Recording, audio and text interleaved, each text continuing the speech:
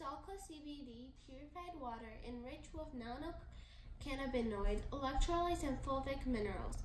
It is a product of USA and it costs $3.99. Let's test the TDS and pH levels.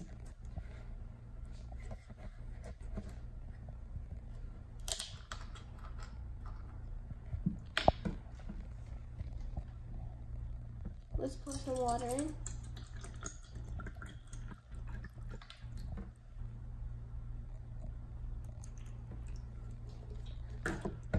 This is a little bit too much for the pH cup. Let's pour some back into the TDS cup.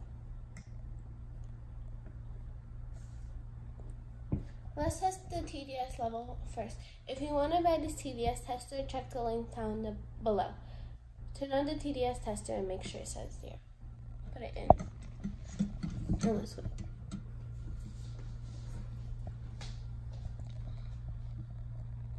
70. That is mountain spring carbonation filtered water.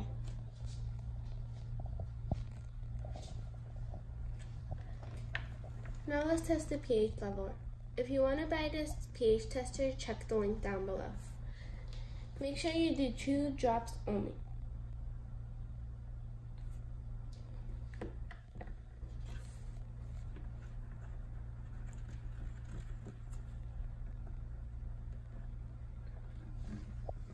I'll say that is a 9.5. That is alkaline water.